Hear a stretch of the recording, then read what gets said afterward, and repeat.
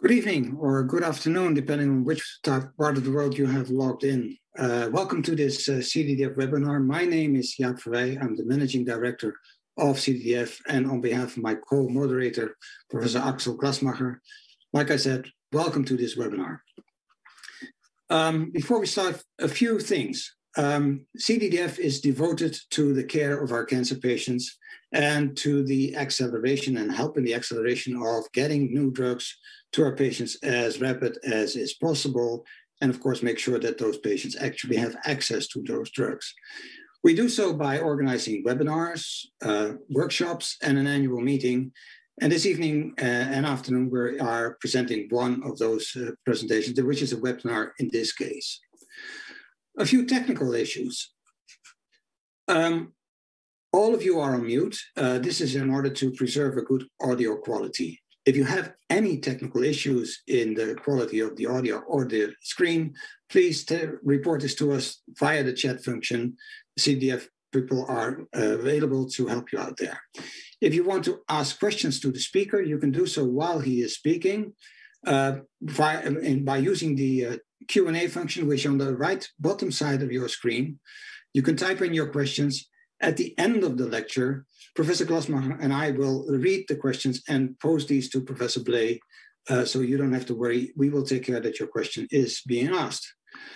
For a better visu visuality, um, you can double click on the Zoom screen to enter into full screen mode. Then you can at least read the slides in a, a more perfect way, I guess.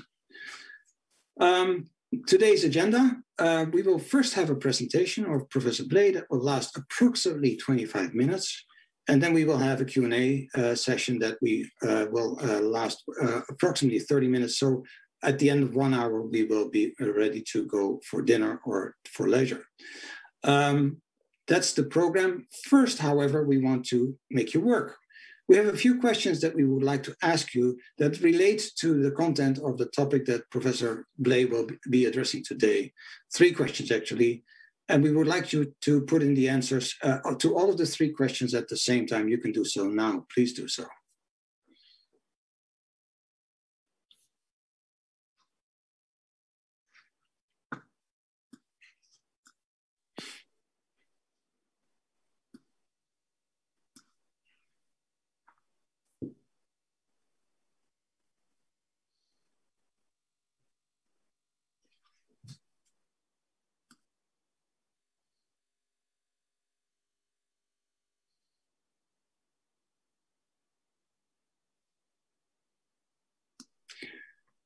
Michael, can we see the uh, answers already?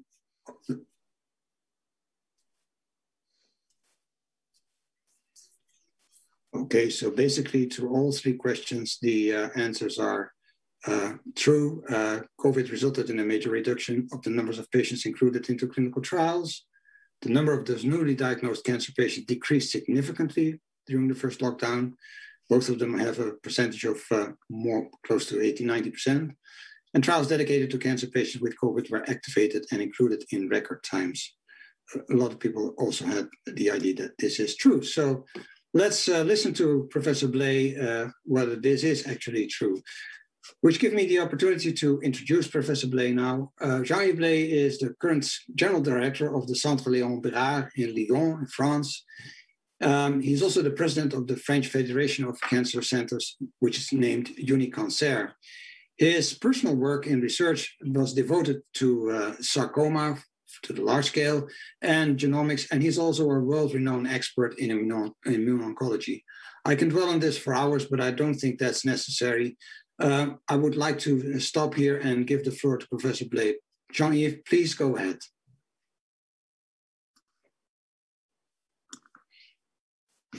Thank you, Jaap. Uh, hello, everybody. It's really a pleasure to be with you uh, today to share with you some uh, the experience of this Cancer Institute in the uh, operational aspect of uh, clinical trials in cancer during this COVID-19 pandemics.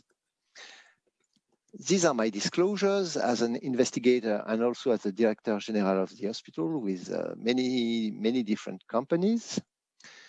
And I wanted to start first with uh, something which was extracted from a public uh, website showing the magnitude of the problem. And the magnitude of the problem is 150 patients infected worldwide with 3 million, a bit more than 3 million deaths in the same period for a 2% death rate, which is of course extremely uh, important in this general population and uh, probably even more so in patients with, uh, uh, with cancer.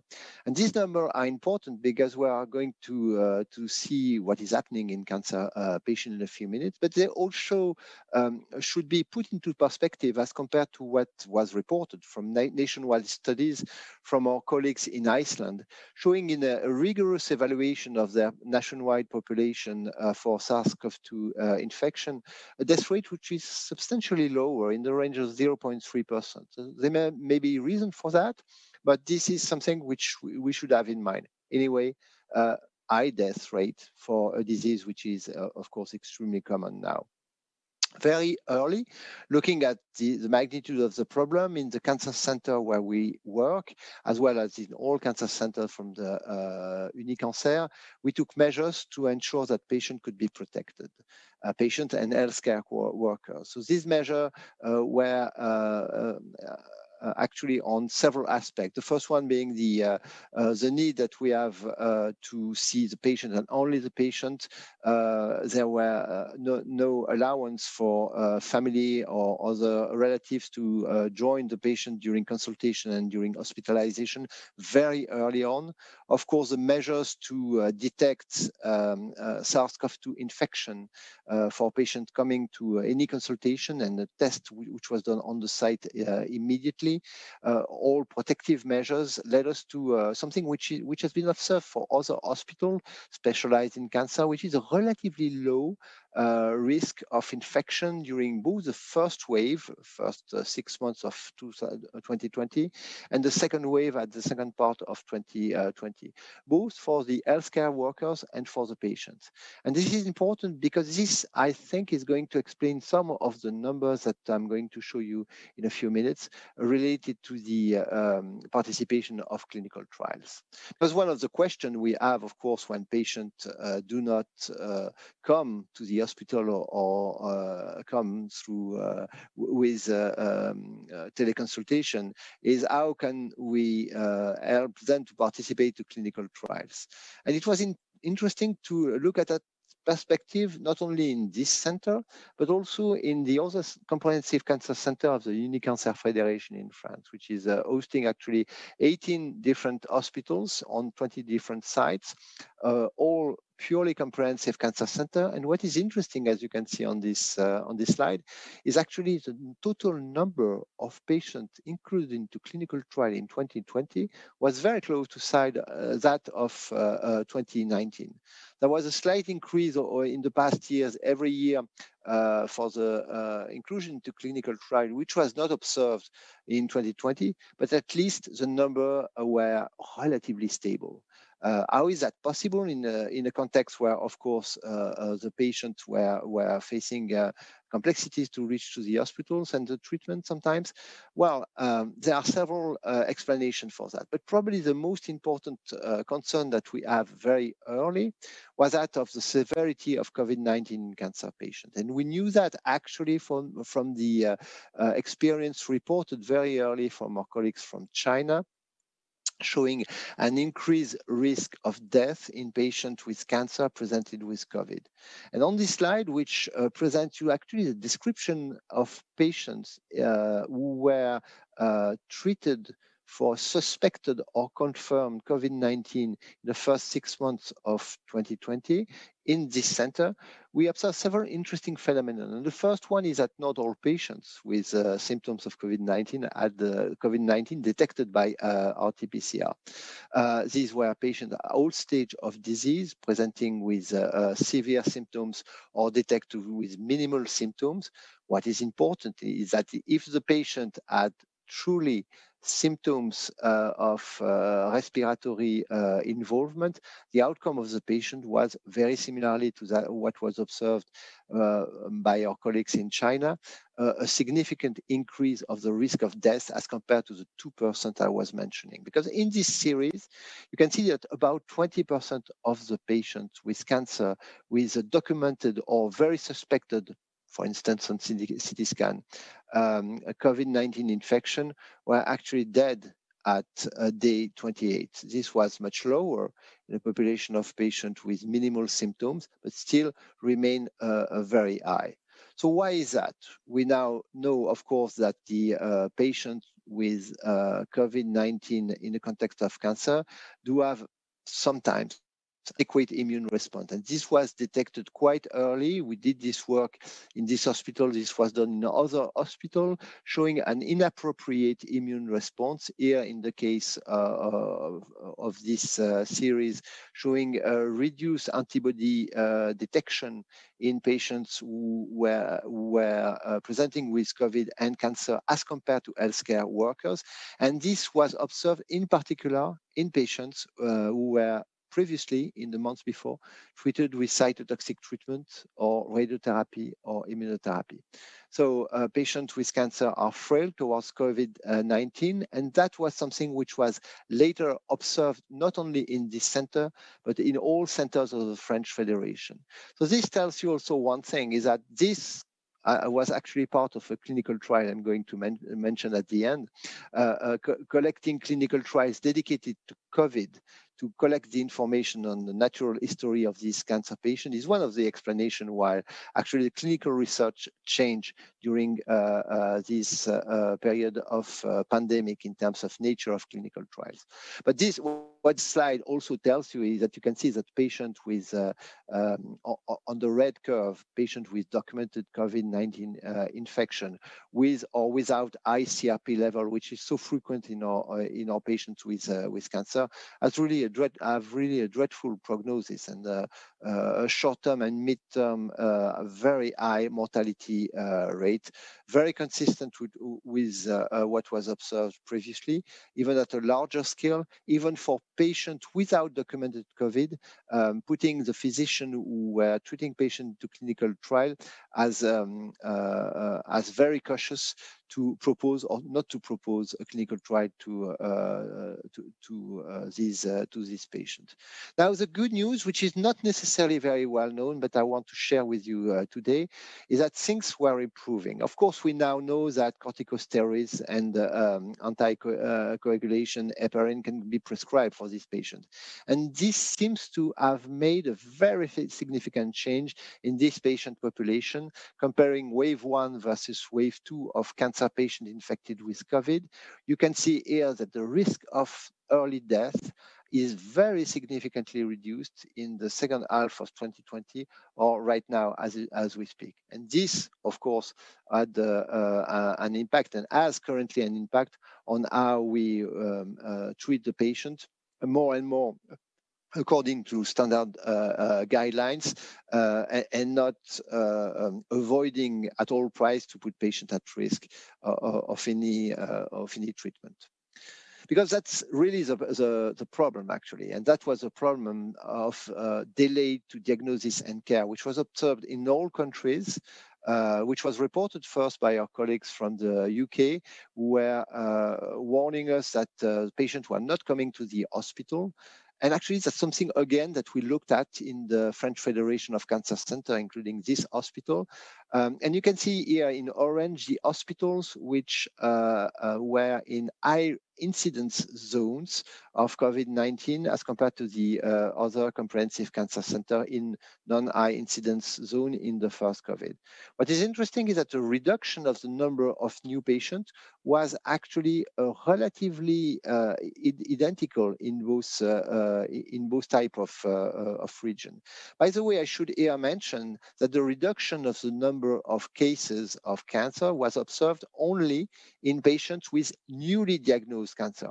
The number of patients with um, a known diagnosis of cancer did not change in this period.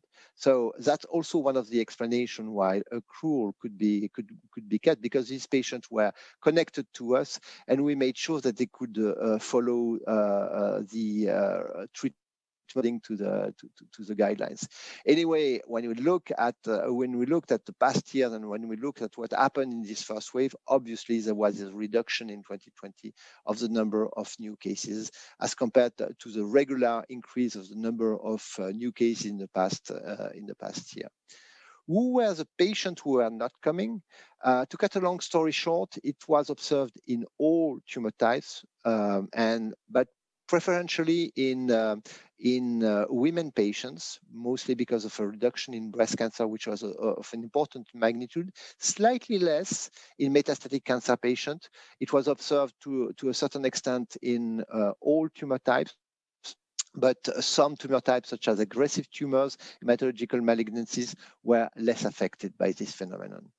This is going to have an impact on patient outcome. This is not directly related to this uh, presentation.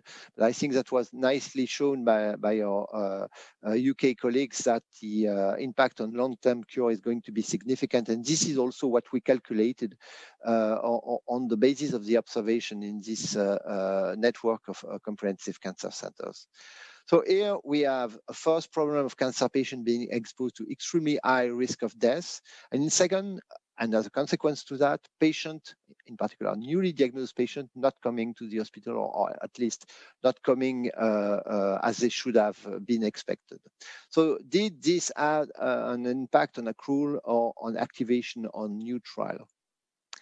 Well, if you look at this uh, uh, at the present center uh, in the Centre Léon Bérard where I work, yes, it had an, uh, an, impact. You can see obviously that although it is variable across the different tumor types, you can see that the uh, number of patients included in therapeutic clinical trials did drop uh, in 2020 as compared to uh, 2019. And this is very unusual because we have a steady 3 to 4% increase rate in the last 10 years or so.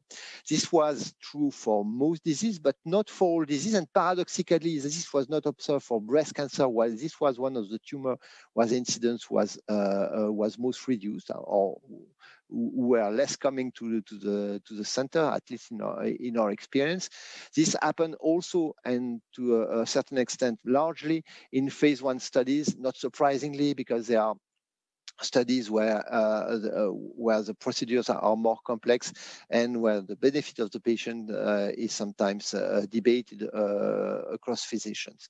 Um, overall, uh, if you look at this number, you, you can ask yourself, why is that uh, that the total number of patients included into clinical trial did not change as much? Well, this is because of observational studies, which dramatically increased in this uh, this time period. So looking at the outcome of patients uh, in, in a formal setting uh, was uh, something which on which we adapted in order to be able to generate data to guide best the treatment of patients with with cancer. And with that, actually, if you look also at the number of clinical trials which were open in this uh, period and uh, uh, the number of newly open clinical trials, you can see that, that there is a slight drop, but which is uh, actually not, uh, not really significant. The number of newly activated clinical trials remain basically very similar. So uh, on the basis of that, you, you, may say that's one center. What about the other center? What I looked at here uh, is uh, uh the total number of trials which were activated in this Unicancer uh, Federation. We can see here in the different centers, which were uh, uh, not marked, that uh, uh when you compare to 2018, 19, and 20, there is a wide variation of, uh, uh, of activation in the different cancer centers, but overall, it remains stable as what we observed in our, in our center. The total inclusion remained relatively stable also, even though there were very much differences across the different centers, some in particular investing a lot on on registry trial, what happened actually is a, a, strong reduction in the number of clinical trials which were sponsored by the pharmaceutical companies and pharmaceutical industry for several uh, reasons. The, the, the, first reason being probably that uh, uh, many uh, companies uh, put some trial on hold at least during two to three months during uh, uh, this this period, and if not, some of the trials actually were not. Um, worked on by the uh, uh, physician and inclusion was not uh, conducted as we do usually in this time period. So reduction of uh, uh, inclusion, but an increase in the number of inclusion in into registries. And this reduction in inclusion in therapeutic trial was observed mainly on uh, phase one studies and on pharmaceutical company sponsored trial but we had patients on trial. So how do, did we manage the patients uh, into clinical trial during the, the, lockdown? The first strategy was uh, what we did for all patients, but which, which is really practice changing, which are teleconsultation. And I like to give this number which is that in the eight weeks before the day one of the first lockdown, we did 25 teleconsultation, which was basically a failure. And in the eight weeks uh, following uh, the first day of the lockdown, we did five more than 5,000 teleconsultation. Uh, this was for all patients, of course, not only for clinical trial, but this tells you how um, um, importantly, the practice has changed with this, uh, with, with uh, all this. So some inclusion were altered more, mostly in, uh, uh in, in pharmaceutical company trials, less frequently in academic uh, trial. What was also adapted were the procedures. And actually, the, many companies accepted the ideas of uh, uh, following the patient through teleconsultation, of course, without a physical examination uh, formally conducted by the investigator. But if uh, the uh, investigator uh, thought it was necessary, a, a, local doctor could perform the medical and physical examination and um, send information to the to, to, the local to the local site. we had complexity complexities which could be resolved in the shipment of experimental products. This was uh, very challenging and very demanding for the, for the pharmacy of the uh, hospital. This proved to be feasible and probably contributed to the feasibility of the clinical uh, trials, uh, therapeutic clinical trials in this, uh, in this period. What also did change, uh, and I mentioned that already with the registry, is the COVID-19 trials which were activated absolutely in record time. And we are, I presented these different trials already at the beginning of, of this presentation. I must say that even though we are extremely critical of our uh, administration on the, the, speed of activation of the studies, these studies were activated in record time, in six days from uh, uh final version to approval and first patient included in, in the clinical trial. So that proves that this can be feasible if uh, in uh, circumstances like this. And what was interesting as well that we could generate clinical trial extremely rapidly. This one dedicated to cancer patients infected with COVID. We had seen these patients with a, a very poor outcome, and we had started to get some information from our basic research laboratories that probably some mechanism could be um, uh, identified as causative of the uh, alteration of uh, um, lung function in, in this patient. This led us to develop quickly uh, randomized clinical trial in COVID-19 cancer patient population to try to test this hypothesis which were uh, generated in preclinical experiments. Again, very quick capacity to activate clinical trial, one of the problem, however, is that because we were uh, treating only cancer patients with uh, with uh, uh COVID-19, which were ex excluded, by the way, of other trials in uh, at least in this uh, city and in the country mostly, is that um, the number of patients was actually lower than than expected, able to jump in these clinical trials. And actually, we have still this clinical trial open, but with a relatively slow accrual. Final uh, uh, Uh, uh, points uh, on this uh, question of how to manage clinical trials in in the period of pandemic is to promote the use of vaccination as quickly as possible in these patients with cancer, whether they are or not into clinical trial, but particularly if they are in, into clinical trial. This was somewhat complex because we had, of course, to discuss that in, in, in detail with the um, pharmaceutical company or the sponsored uh, involved. This proved to be quite feasible and quite active, and this is actually taking a lot of work within the uh, current uh, state of work of, of our hospital. I will conclude here by saying that uh, uh, the pandemic had a, a, very spectacular impact on clinical research in cancer, but probably the most important impact is that uh, it was possible to keep a significant activity despite the complexity of this period and the global impact on the healthcare system. We could keep activation of the trial to, to some extent. We could pursue the inclusion of patients to clinical trial, maintain the follow-up of patients into clinical trial, even though it was uh, it was reduced one of the aspects of this is probably, even though I do not have direct comparison and numbers to show to you, it was much easier to do that in comprehensive cancer center as compared to general hospital, including general university hospital, because they were uh, they had this tsunami of patients with COVID, which was extremely difficult for them and actually send us sometimes a patient for, for, for, for care. It was possible to generate at high speed clinical research for COVID-19 cancer patients, uh, even though it was complex because the complexity of the disease. And with, with that, I would like to thank you for your attention and we'll be happy to take questions. Thank you, Jean-Yves. and uh, as I said before, uh, to those that are in attendance, if you have a question, please type it into the Q&A box on the right bottom corner of your screen, and we will make sure that Professor Blay gets that question. Um, maybe it's nice to look at the poll back. Mike, can you show the slides again? The slide on the poll?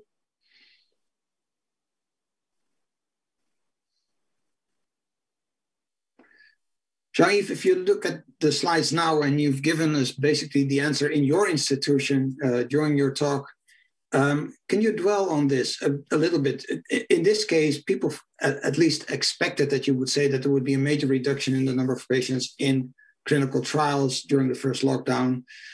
Basically, you said there was a reduction, but it was not major. It was, if anything, it was modest, you could say, but in some institutions, in some cases, even minor. And the other issue is the number of newly diagnosed cancer patients decreased significantly in the first lockdown. You indicated it, it decreased, but it was certainly not to the extent that people were worried about. So the the answers that he, that people gave in, in, at least the expectations that people had were in contrast to the information that you have given. Could you dwell on that? Yes, absolutely. I, I, must say that was a surprise to us uh, to us as well. We expected uh, that the activity of uh, um, of clinical trial would be much more significantly impacted by the first lockdown in particular. It proved to be not the case in this institute. And as you rightly point out, this is, I think, mostly related to the fact that we are a specialized cancer institute in uh, the sense that we do not have these uh, uh, emergencies of patients with severe COVID coming to a university hospital or general hospital or uh, a clinic which actually um, needed attention and needed um, a reorganization of the medical unit. These hospitals were significantly impacted, probably much more significantly impacted than the comprehensive cancer centers who treat basically patients uh, with cancer and COVID, but mostly patients with cancer. And that's probably one of the lessons I would take from this uh, uh, pandemic is that uh, these specialized hospitals probably have a very specific role to play in this kind of uh, uh, in this kind of set setting. Now, for the second question as well, I think that was a, a bit of a surprise. We were quite worried looking at the first publication of our friends from UK showing a, a dramatic reduction on, on the number of patients coming to the hospital because of COVID in the first lockdown. And um, we thought that it would be, uh, it could be similar in, uh, in our hospital. This proved not to be the case, even though there was a reduction, it was only for newly diagnosed patients. I must say again that probably in a sense that was a, a, a situation which was contrasted across hospital in, in this country and probably in other countries as well. Again, general hospital, uh, university hospitals um, would treat all patients were probably much more impacted. And I, I, think that if you look at the global numbers in France, the impact on cancer centers for newly diagnosed patients and uh, the impact on general hospital was fourfold less actually in comprehensive cancer center, which uh, still remain in uh, of a magnitude of uh, um, of 25% in non-specialized hospital, which is significant. Um, less in cancer center, still significant. The impact on survival, long-term survival is going to be significant, but we'll see that in the future. Yeah. How many of the patients in France are diagnosed and treated in the comprehensive cancer center versus the university clinics it's, it's about the general hospitals? Yeah, it's about 23% of patients treated in, in these comprehensive cancer centers of the Unicancer Federation in France. Mm-hmm. So that's one fourth about. But it means that 75% of the patients were treated or not treated elsewhere. Yeah but it becomes clear that the cancer centers are more resilient. Uh, could you formulate um, two things? One, from your experience, is being so re re resilient uh, in the pandemic, in the treatment of cancer patients, uh, what would you recommend to non-specialized or non-cancer center hospitals? What are the lessons that they could take away? And also uh, the same thing for the clinical trials uh, that are run at other institutions?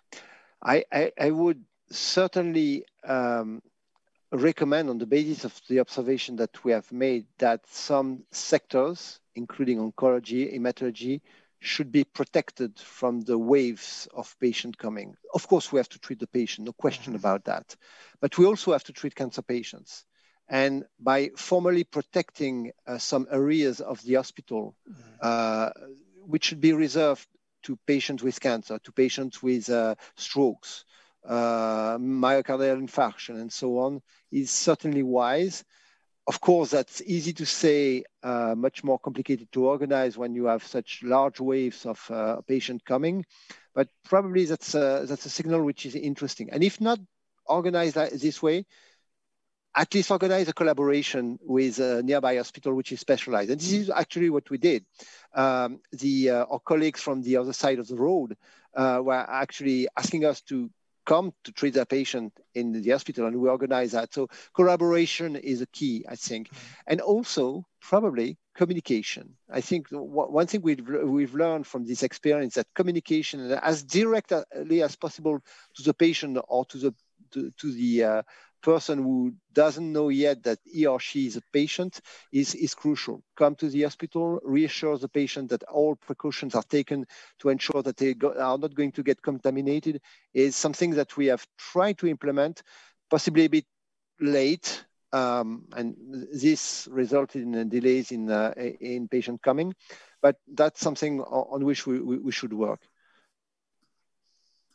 And uh, for clinical trials, do you have any specific recommendations for people running clinical trials? Yes, I, I, I think first, of course, the, uh, um, the clinical trials which on, on, which patients are already included and receiving the treatment should be uh, protected as much as possible. One of the big lessons is that uh, it was feasible, of course, with sometimes major adaptations to the protocol, but this proved to be feasible to key patients, uh, including to crossover patients, sometimes when, when they were doing their CT scan on another part of the country because they were coming from, uh, from far away and deciding on switching the treatment. Things we would not have imagined to happen could could, could take place with uh, flexibility commitment and uh, I, I, I think um, uh, uh again communication with the sponsors because uh, what I think which was crucial is that the discussion which took place enabled to adapt, to adapt to patients who were included and to adapt to patients who join the, the, the clinical trial. I, th I, I, think there are many clinical trials which were kept open because they were relatively simple. And even though the patients were uh, not coming as uh, as we all, all, as we hoped they would they, they would be, uh, there was no reason not to include them because the procedure of the trial, in particular in academic trials, were relatively easy to implement. And uh, basically, at the end of the day, we have to do uh, our, our, work and doing our, our, work uh, in circumstances when we are somewhat protected from the pandemic is, is, something which is, of course, mandatory. Of course, it was a, a bit more difficult, and that's something we observed the number of patients included in pharmaceutical company sponsored trial decreased. Um, this, even though we do not have um, um, precise number of, of, of, on this, I think this is related mostly to the early phase trials. And this is because, of course, these are complex procedures and sometimes alternative options were proposed to the patient instead of, uh, uh, of, these, uh, uh of these trials. Um, in, in a way, the answer I would, get, I, I would uh, uh, provide to your second question is very similar to the one I would provide to your first question, which is to protect an environment which enables that to be to, be constructed. That's probably the sa safe way to organize things. Again, again, when it is possible, because it's not as if you were in control all the time. If you look at the, that trial uh, participation, you say, well, it mostly reduced in phase one or the early clinical trials because of the complexity of those trials. Um, you've shown the slide from the cancer centers within the Unicancer. Uh, I think the largest reduction in one site was 25 to 30% in, in right. inclusion, and in most of it was quite considerably less. So it is, is less worse than we expected it to be. Do you have any information how this was in the non-cancer centers uh, in, in France? Do they have a similar limited decrease or is this, the decrease there bigger? Uh, actually, I do not have this global information for the other non-specialized cancer center, uh, centers in France. The, the message from my colleagues was that the magnitude was more important. Still, they kept an activity which remained significant. Uh, in, in, other words, they did not uh, decrease by 90%. It was more in the range of 50%, about of the same magnitude that the, the impact they had on newly diagnosed patients because for uh, exactly for the for the same reason. So it's not a massive drop actually of patients not included into clinical trial. Again, uh, the trials which were uh, active were mostly relatively simple trials and uh, um, late stage trial instead of uh, first um, first in first in human or phase one or phase two clinical trials. We have um, a, few a few questions that have come in via the Q&A function, and I would like to encourage our participants, uh, attendees, to type in new questions. And the first one comes from Judith Taylor, and she asks, what are the key points you would like patients to be aware of? Um, actually, we uh, th this is a question of, on communication. I think one of the crucial steps to take very early in this uh, extraordinary, extraordinary circumstances is to communicate as quickly as possible to all patients, the patient we know and the patient we, we, we do not know. Reassure them uh, and explain to them as, as easily as possible uh, how to come to the hospital and to make uh, them understand that this is safe to get to the hospital because the procedures have, have been uh, organized. Um, so it's less um, a message to the to the patient that the organization of the communication towards the patient is, which is crucial. Uh, many centers, including university hospitals and cancer, comprehensive cancer centers, uh, have been sending messages to all, uh, email messages to all their patients to explain to them what was going to happen uh, and that proved to be extremely helpful. We generated hotlines to discuss with the patient, and the hotlines were very much used in the first 15 days. And then people were instructed on how to proceed, and it worked not that bad at the end of the day. Um, so the patient must be aware that it is safe to come, and it is, in particular, for, to get treated for cancer. And I, actually, it is not uh, safe not to come. Maybe uh, related to patient care. Um, there's another question from Alan Sadoun. What was the policy with regard to COVID-19 vaccination in patients included in clinical trials, particularly those uh, that were testing new uh, investigational medicinal products? But you could say in general, what was the policy for cancer patients to be vaccinated, or is the policy? Uh, generally, we received a precise instruction from the sponsor on how to proceed and which vaccine was ac acceptable and which was not acceptable in this case. Um, I, I, must say that uh, the vaccination pace started slowly in my country and and we were not that overwhelmed by this question in the weeks of uh, in the months of uh, uh, January and February. Now it's starting to catch up uh, quite significantly. Actually, the majority of our patients are now va uh, vaccinated. Uh, general policy: vaccinate everyone. But we also know, and that, that has been already published, that the impact of vaccination on strongly immunosuppressed patients may not be as good as we expect. How do you deal with that? Do you measure antibodies, or how do you deal with these patients? You know, you uh, who may be in midst of cytotoxic therapy or immuno-oncology therapy, and where we would fear the vaccination is less effective. Uh, I, I, the, the, way we have organized this is uh, is twofold. Actually, there is a prospective clinical trial. One of the clinical trials, which uh, type registry that we were discussing, which collects this information prospectively to see whether what is the immune response. And when I say immune response, B cell response, which means ba basically uh, antibodies against the spike protein, which is probably the most relevant um, uh, biomarker uh, indicating protection.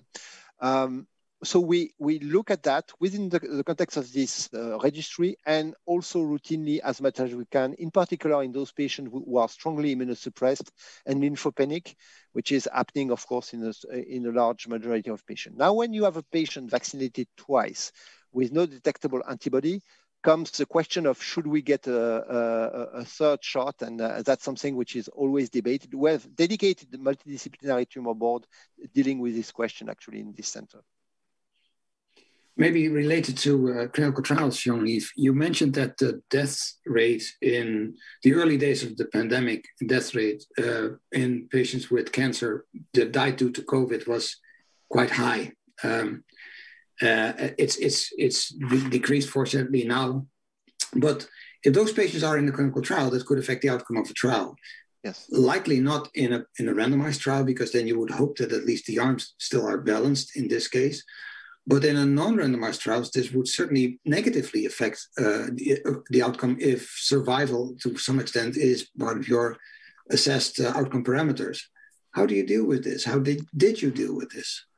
Uh, actually, that was, I think, the major reason why uh, pharmaceutical company sponsors instructed us to stop, to halt accrual for some uh, some of uh, specific trials. And, and not surprisingly, as you rightly point out, trials with, without control arms. Uh, and trials with uh, where survival was a key endpoint. It's always a key endpoint, but that's a primary or secondary endpoint. That, that, was a proportion of the trial which um, which was not not a majority, but that was one one of the reasons. Now, having said that, I look at my center, but for, for this, uh, we um, uh, I do not have the full data set of uh, of the federation, but in my center, the proportion of patients who uh, were into clinical trial who get infected and had a, fatal outcome after uh, COVID-19 infection was much lower than the general population of cancer patient being treated in this center for obvious reason of selection. Right, so you would expect that in the, the patients that were in the clinical trial, there would not be a similar uh, effect as far as compared to patients that are not in the clinical trial. Exactly, and this is actually what we observed because of patient selection, better performance status, because and they were included, and uh, um, and and that's something. But I must say, I, I would be cautious with these numbers, which are crude numbers from one center, but the difference is quite quite visible on the curves. Yeah. Well, this may be one of the reasons why some people are somewhat cynical on patient selection in clinical trials because it's not the real world that we're testing there. Yeah, probably. This basically tells you that. Uh, another question: you you you opened new studies in record time. Um, I guess we could also say, well, the development of some drugs was done in record time. Just think of the vaccines that were basically developed in uh, under a year's time, which has never happened before. Um, most of the studies that you opened were registration studies, which I guess, uh, have less of an issue with the uh, ethics boards and the uh, people that have to uh, approve the, the clinical trials than prospective clinical trials could have. Is that indeed the case? Was that reason for this, um, or the, the explanation for this tremendously rapid start of clinical trials within six days? I mean, uh, that is really amazing. Uh, you would hope that a pharmaceutical uh, company trial would ever get opened within six days. So, mm-hmm. is the registration type of trials the reason, or were there other reasons? I, I, think obviously the when you have trial without therapeutic intervention, it's much quicker, and indeed it was uh, it was done some, in less than one week, quite quite often at the beginning of the pandemic. But also this happened with trials testing new agents, including early new agents dedicated to COVID-19, and uh, I think for us. Uh, clinical researchers in oncology working in France that was particularly striking because we always fight with, uh, with our administration saying that they are much too slow to activate clinical studies. And in this very case, they were able to, uh, to, to, uh, to do that in record time. So that was not seven days, but uh, I think all the COVID trials dedicated to COVID patients uh, were activated in less than one month, at least in the uh, in the first months of 2020. That's probably uh, uh, still the case as we speak with new antibodies, new new vaccines which are, are ongoing. So th there was really a big effort mm -hmm. on that, at the expense, I must say, also of the activation of the other trials. Uh, for which uh, the, the speed of accrual, the speed of activation was not that different actually. You mentioned that some of the companies, uh, of company-sponsored trials, halted the accrual or recommended recommend, recommended the halting of the accrual. Were there actually any studies opened in this period? Any new pharmaceutical company-related studies opened? There were uh, in the lockdown period of two yeah. months. There were very few very few. I do not have the number, but obviously very few, simply because it was very complicated to to, to move. So there were um, a, a virtual teleconsultation activation, but that was marginal. I, I would I would say that this was mostly uh, opening new centers for academic studies. Um, this was the best that was organized when it was an absolute lockdown. Now, after, after the months of May, when where things were more open, even though there were uh, more lockdown which were less tight. Uh, I, I, think this happened, yes. And this is actually uh, what happened in the second lockdown and the third lockdown in this country, yes. And uh, you're currently in your third lockdown, if I understand correctly. Um, yeah, absolutely, absolutely. we are coming out yeah, yeah. in the coming days, hopefully. if you could compare the first lockdown to this to, to this last one, as far as trial uh, activation and uh, trial participation is concerned, is there a difference between those two lockdowns? Is it?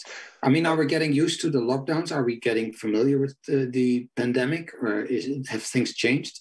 Yeah, clearly, so the reduction observed uh, in in clinical trial accrual for um, uh, observed for, for, pharmaceutical company trials was uh, is not anymore something we, we have observed in the second and third. Actually, the the accrual and uh, new patients coming in, in the hospital increased significantly in the first months of uh, 2021, probably because we were catching up the delays, but also this was also observed for clinical trials uh, in general. So I guess that we probably uh, have adapted to that and are now able to conduct clinical trials with adapted uh, procedures, and this is working. Yeah, maybe um, is, is there a difference also here? But you mentioned that the, the, the experience is different in the clinical in the cancer centers, I mean the, the specific cancer centers as compared to the general hospitals and the university hospitals. How about the experience in those general hospitals on clinical trial performance? Do, do you have any information? Do you receive any information from your colleagues there? Well, to say, uh, yeah, we are um, one of the mission of this cancer centers is, is, also to go to general hospital to work with them, uh, and this is what happened also during the uh, during and, and, after the lockdown. And clearly, again, they were much more uh, impacted uh, for for the um, uh, for the inclusion of new patients. They were also more impacted on the day-to-day monitoring of a patient included in, in, into clinical trial for the reason of uh, uh, people being uh, um, committed to go to the infectious disease wards and, and, so on, and not being able to to participate to that to, to their routine task. Um, there has not been formal measures of that, mm-hmm. at least that I know of. But from the exchanges with my colleagues, the magnitude of the problem was much more important uh, uh, in, this period. And I would suspect that when, when, we will know the, the, numbers, their numbers, they will probably in the range of three to four fold more impact as compared to what, what we had in, in, in our comprehensive centers. And that, that could at least have an influence also on the performance of clinical trials in, in general uh, yes. and the outcome of clinical trials. Do you have, I mean, missing data is a concern of everybody, certainly those that are working in industry now uh, in their trials, patients that were already on trial when the pandemic started. Uh, if they didn't visit the hospital, if you couldn't do the teleconsultation, then of course there is a, a problem of getting the patient uh, to a hospital for doing tests or getting even an interview. Do you have any information on the seriousness of missing data in non-cancer center sites? Yeah, we do not have this measure, but it was also, uh, you know, uh, as cancer centers, we are also sponsors of academic trials which involve all hospitals. And clearly, uh, missing data uh, were reported in all centers, including uh, and and, and missing or delayed data are, are really a, concern for these academic trials that, that we are uh, promoting. Now, having said that, um, this this delay has been slowly um, uh, recovered, uh, and one year after this this uh, extreme period of, of the first lockdown, I think things were uh, are in a much much better uh, situation, and we we have less delays than certainly we had in lockdown one as. Um, lockdown two and three are, is more favorable. The magnitude, I would say twofold more delays and the missing data, uh, maybe more in some centers. You are a, very experienced clinical investigator. You've run uh, an enormous number of trials in your life. Uh, you've witnessed the what happened in the, the, various lockdowns on missing data in cancer sites and the non-cancer sites. Um, in the end, it may lead always. We, we don't know whether even in in in, in uh, the trials that are uh, randomized, whether there will be a balanced difference in unexpected death or COVID-related death between the two arms. This could affect the outcome of trials that just happen to run within the whole pandemic period of one and a half year now. Do you have any recommendation to the world outside there how to look at their clinical trials now and the outcomes of clinical trials? Yeah, I, I think looking specifically at the COVID period and the non-COVID period for a given clinical trial, which is expanding over years, is certainly going to be a, a, a recommendation. Also, when the clinical trial has two arms and uh, or several arms, and one arm is, is associated with a a more significant impact on immunosuppression, that's something which which is going to be uh, um, which will need to be looked at very carefully. And also, one thing which is not simplifying this question that you're asking, Jaap, is uh, is that we have now learned how to best manage patients with COVID and cancer uh, with relatively simple measures. I'm not sure that these simple measures uh, were um, were implemented at the same time in all centers. And, and that's going to be uh, one aspect of the variability of the answer that we are going to get, which will, will need to be uh, uh, cautious. What I would advise is certainly to have a very careful look at the COVID specific deaths as a secondary endpoint to be added in the, in, in the clinical trial um, and to look at the death rates in the different period where where the trial was conducted, if it has not been conducted in, uh, uh, only in the in the COVID per period. I think that's going to be a, a very important challenge when. Uh, when um, death rates are, I'm thinking in, particular of uh, adjuvant studies, or at least when survival is uh, is high, and when uh, uh, one or few deaths may, may, make a big difference in an important trial. Well, um, uh, we've seen significant excess mortality in, in the general population. Um, and and today a study was was published that uh, even this is yeah. underestimating the total uh, death rate of this disease. So do you have any registry data or other data that shows how overall in France or in, in the group of uh, centers where you have more data from, whether this was also the case for the general cancer population? Uh, we, we, do not have yet this this, this measure, but I, I uh, I've seen the same data that you mentioned. I would of course be very surprised that we if we would not have a, a, a difference. I think in cancer patients we probably have maybe three different things. The first one is uh, that some patients with cancer in advanced phase um, infected with COVID died earlier than they would have been expected. I mean, they would have had a, fatal outcome due to cancer in, in the year, but I mean, their, their, their death was uh, was much before uh, because of, of, the COVID.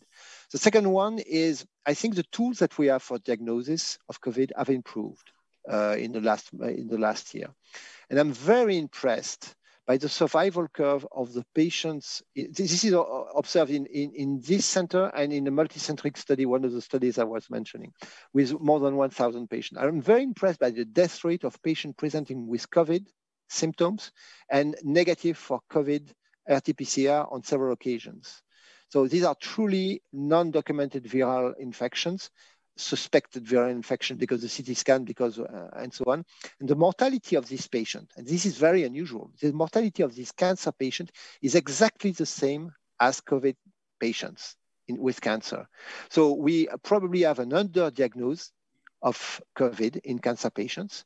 Um, I would say, at least from this study I'm mentioning, to a magnitude of 40% minimum. Uh, and, uh, uh, whether we this is also extending the general population is likely. Uh, so that may be one of the explanation of, of the point you, you, you are raising. So yes, I, I, I think the impact is uh, is uh, is quite significant, really. Sure. As a, an immuno-oncology expert as well, any explanation why the rate of PCRs was uh, false, maybe potentially false negative PCRs? Because that's what I hear you say was this high in cancer patients. That's very, uh, it, it's very difficult to, to understand. I have no explanation uh, why um, th th this was the case. Um, I, I, I know that it was also uh, that's something which was reported from our colleagues virologists that uh, multiple sampling was often required also in general population. But uh, um, I, I, do not have a, a, a real explanation why whether if it, it is different in cancer patients as compared to the rest of the population. I think that the um, the uh, quality of the uh, of this test are, have very rapidly improved, uh, and that's that may be one of the, of the reason why um, we we were so much worried to, uh, with our patients uh, in the beginning that we were probably proposing uh, a lot of tests at, at times where, where, when the tests were not that uh, that good and probably have improved since uh, since then. But no, I, I do not have a, a, an explanation. I think I, I, think one of the reasons why, why, why they do not develop an adequate immune response is also a mystery, by the way, because. Yeah. Uh, spike antibody, okay, that's correlated, that's nice, but probably one of the um, series of publication which is going to come is showing also a T cell response, which is not easily measured, is probably the most important and, and probably explain why some patients in general population, probably about 50% of the general population, by the way, have so minimal, so much minimal uh, symptoms of, uh, of COVID-19 when, when it is do documented. So there is somewhat, something like a natural immunity, T cell immunity, uh, B cell immunity, which is something quite, uh, quite complex to look at. And finally, I, we also have seen patients who, who were very uh, uh, difficult to, to, to understand with a profound immunosuppression, uh, minimal COVID-19 symptoms, and uh, um, extremely high virus shedding rate for prolonged period of time. There is a balance here between the immune system and immunosuppression, which is not well understood in cancer patients in particular, but not only in cancer patients, I guess. Okay. Well, thank you very much. We're getting to the end of this uh, webinar. I'd like to thank you, Jean-Yves, for a truly fascinating lecture. Uh, it's interesting that uh, the audience in, initially had it wrong, at least on two of the questions that we asked them. So this is also a learning experience for all of us. Um, I thank you, all of, all of the participants, for joining this webinar. It's intended to be the first of a series on COVID-19 related webinars in cancer tri clinical trial performance. So um, stay alert, uh, look at our websites, look at our announcements. We're going to have more webinars in the months to come. Uh, as CDDF, finally, we always highly value your opinion on uh, the things that we do. So I'd like to draw your attention to the uh, survey on this webinar that you can fill out, hopefully immediately after you have uh, after you've ended the session. Uh, we will certainly make use of all of the information that we will get from you. Uh, thank you all very much for joining. Have a wonderful evening or afternoon, and have a wonderful weekend as well. Thank you so much. Bye bye. Thank you. Bye bye.